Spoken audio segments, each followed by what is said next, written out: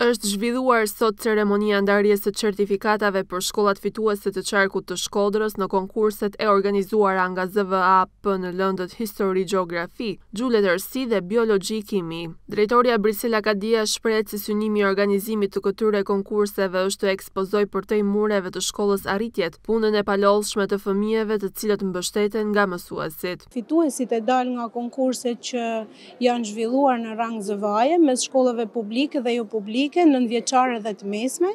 Është një periudhë impenjative për më shumë se pesë mujore, për të mos thënë edhe nga fillimi i vitit, duke qenë se tashmë ne e kemi kthyer në një traditë.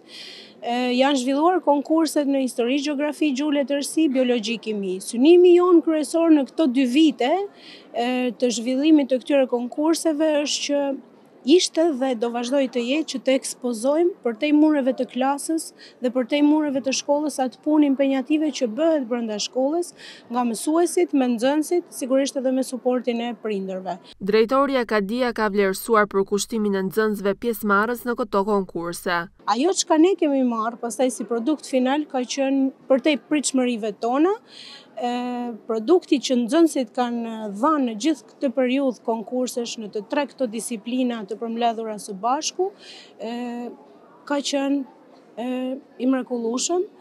Nxënësit tonë përtej atyre dijeve që marrin në institucionet tona arsimore i kanë përkthyer ato në në projekte konkrete, projekte që në të shumtën e rasteve kanë qenë të gatshëm për t'u implementuar sikur të kishin pasur burimet e domosdoshme financiare. Në konkurset e organizuara nga ZVAP Shkodër morën pjesë dyzet e pesë shkolla të qarkut të Shkodrës ku tetëmbëdhjetë prej tyre u shpallën fituese në disiplina të ndryshme.